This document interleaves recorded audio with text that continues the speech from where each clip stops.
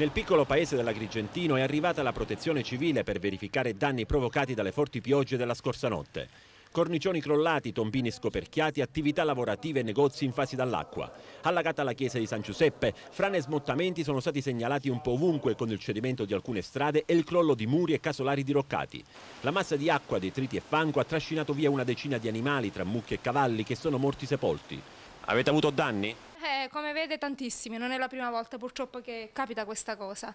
Già due o tre volte è capitato e ancora una volta sempre su danno. Danni enormi, eh, specialmente carte per stampanti, le macchinette da gioco che non sappiamo se funzionano ancora perché ancora non l'abbiamo attivato.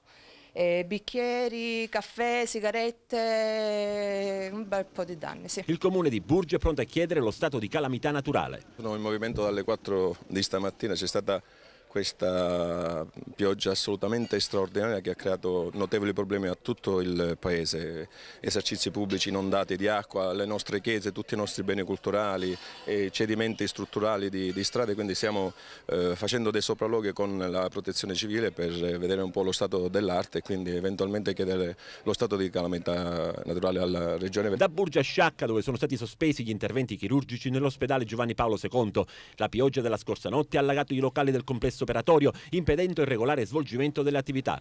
Al momento non si sa quanto la struttura potrà essere nuovamente disponibile.